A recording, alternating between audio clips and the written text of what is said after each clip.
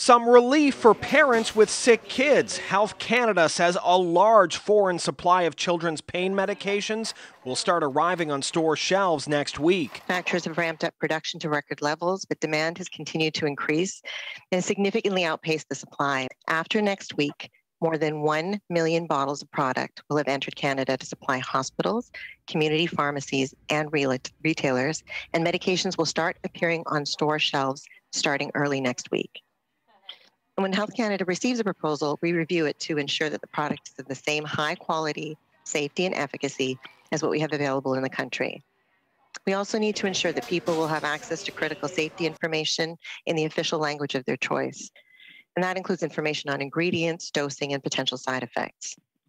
She adds there will be information sheets with these foreign products, and it's important parents follow the guidelines. Read the label and read the dosing.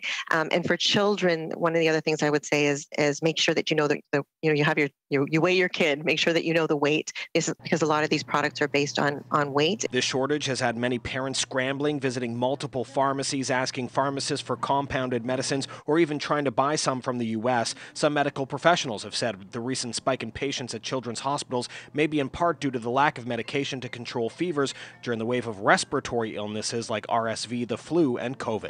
Cormac MacSweeney, Parliament Hill.